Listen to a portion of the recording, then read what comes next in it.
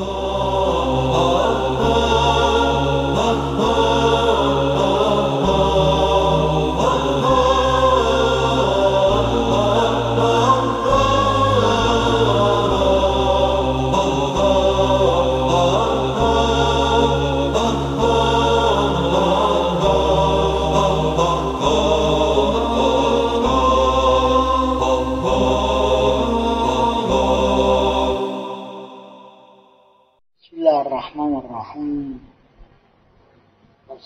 والسلام على محمد وآله الطاهرين.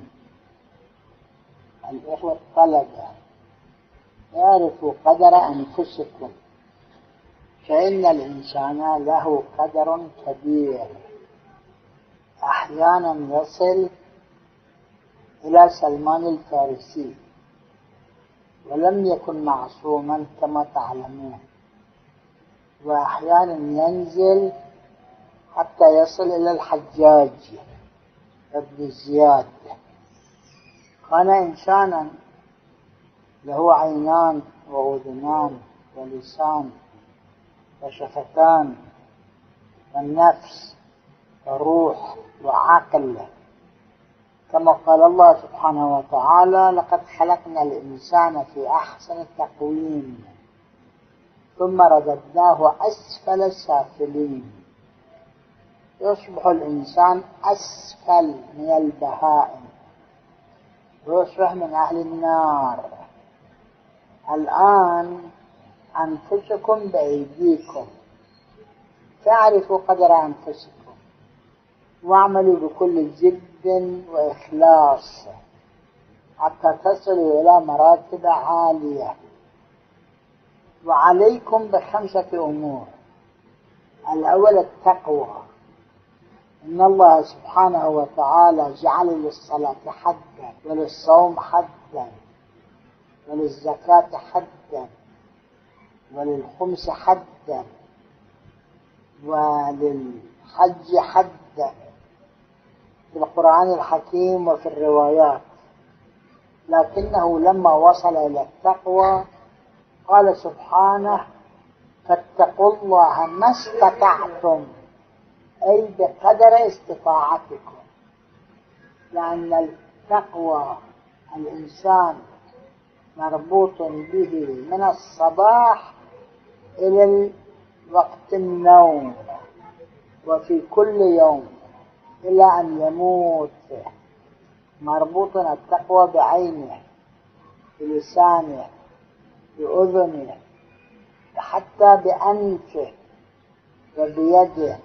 وبرجله وفي القرآن الحكيم أن بدن الإنسان يشهد عليه يوم القيامة.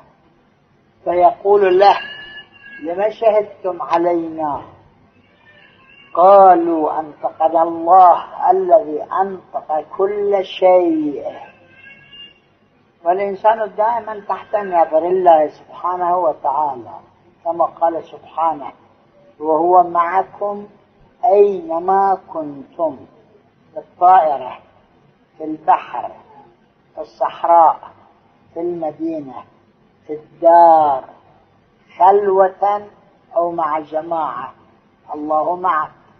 ويجازيك فإن الله يجازي الإنسان بما عمل إن خيرا فخير وإن شرا فشر. الشيء الثاني عليكم أن تتخلقوا بالأخلاق الطيبة دائما.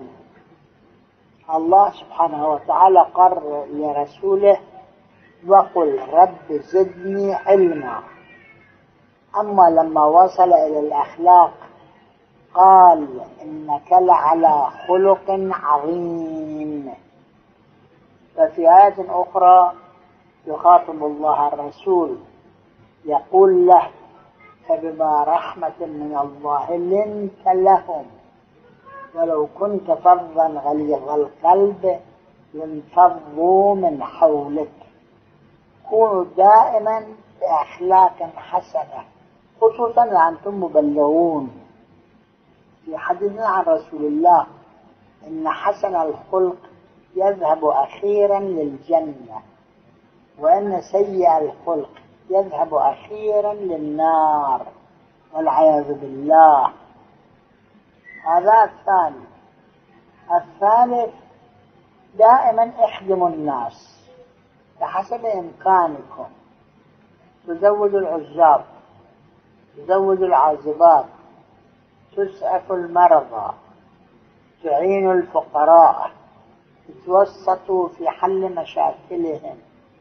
لأن الإنسان الذي يخدم الناس إذا صارت له مشكلة الله يبعث من يخدمه جزاء وفاقا.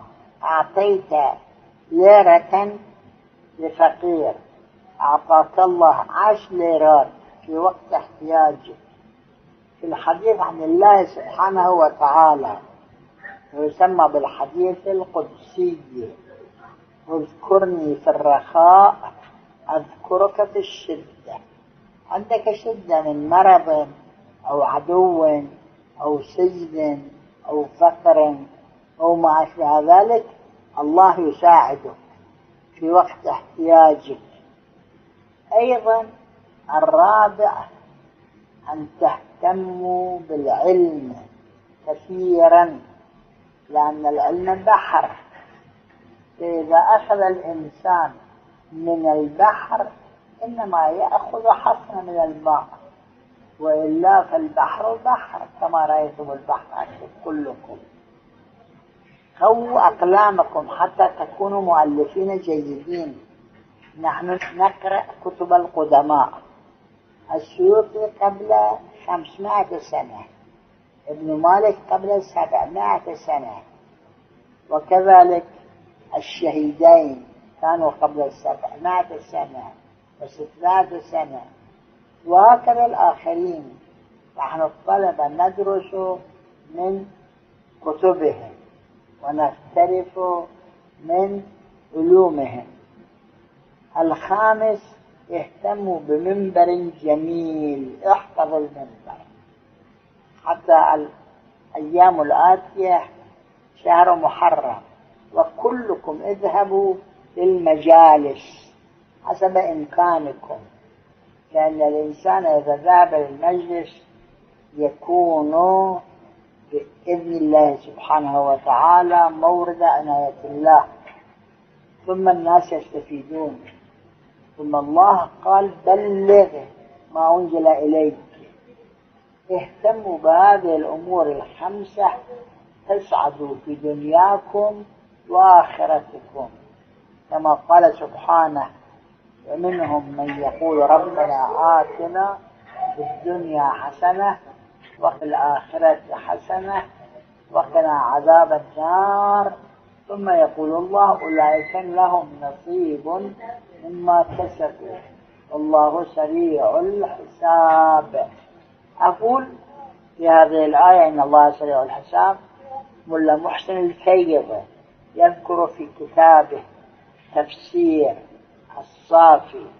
إن الله سريع الحساب يعني يحاسبك في اللحظة. بالنسبة إلى الحسن أو القبيح حتى بالنسبة إلى الأعمال الدنيوية. يعني إذا أنت صدقت كلاما لله الله يعطيك الجزاء في اللحظة الآن. أول عياذ بالله إذا الإنسان عصى معصية الله يجازي الآن الآن. والجزاء عندما يظهر في النفس في البدن في الفضاء وما أشبه ذلك. ولهذا تفصيل نذكره إن شاء الله في بحث قادم. والسلام عليكم ورحمة الله وبركاته.